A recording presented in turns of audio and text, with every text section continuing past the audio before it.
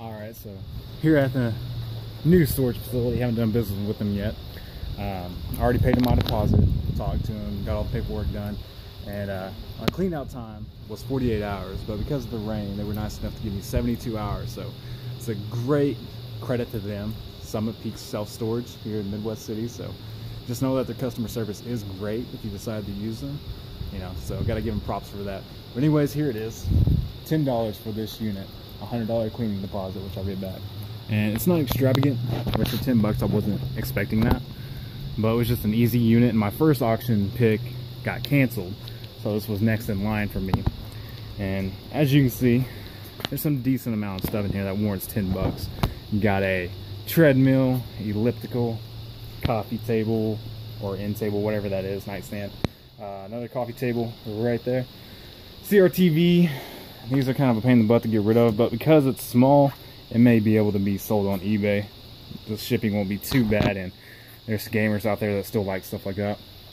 Uh, futon mattress, it looks like. Uh, that might be trash, we'll see. Uh, shelving, a spider, looks like. Free spider. Uh, I think that's either shelving or goes to a bedroom suit.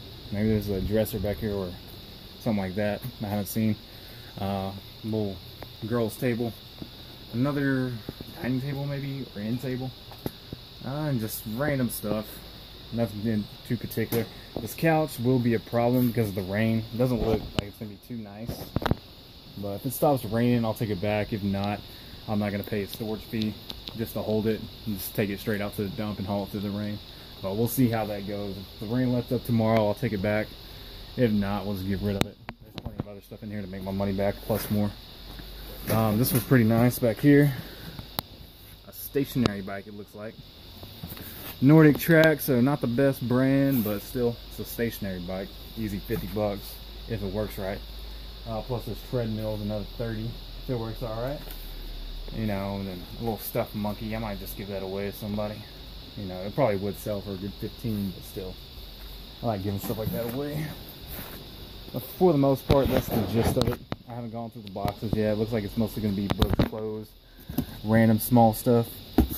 You know, maybe we'll find some gaming gear or something like that.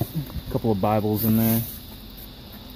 Uh, kitchenware, bathroom wares. Looks like there's going to be appliances in here. Oh, is that a candle warmer? It looks breakable, so I'm not trying to. Little teapot. I like messing around and all that stuff with one hand because might break something that's of value. Uh, for the most part, I think you got what, a desk or a coffee table or something down there. I'll look at that more thoroughly. Shelving. But for the most part, pretty straightforward unit. Not too many surprises. Uh, more kitchen stuff, an American flag, wine bottle. Uh, yeah, that's the gist though. That's what happens when you get a unit. You, you go through the motions, come to a place like this, go and deal with the storage people, come out here.